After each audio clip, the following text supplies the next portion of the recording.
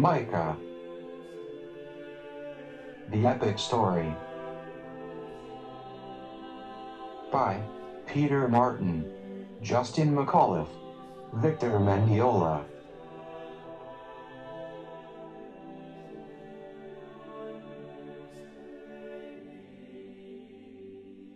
But you, Bethlehem Ephrathah, too small to be among the clans of Judah. From you shall come forth, from me, one who is to be, ruler in Israel, whose origin is from old, from ancient times.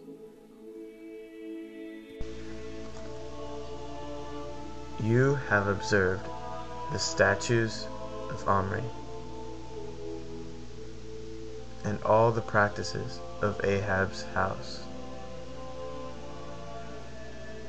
You have followed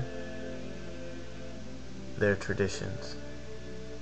Therefore, I will give you over to ruin, and your people to derision.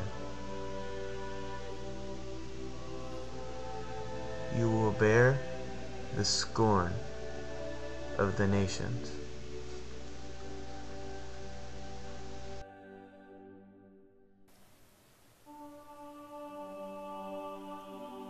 All the nations may walk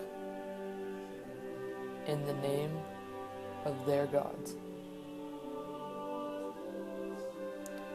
But we will walk in the name of the Lord,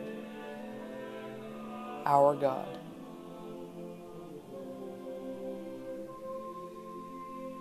Forever and ever.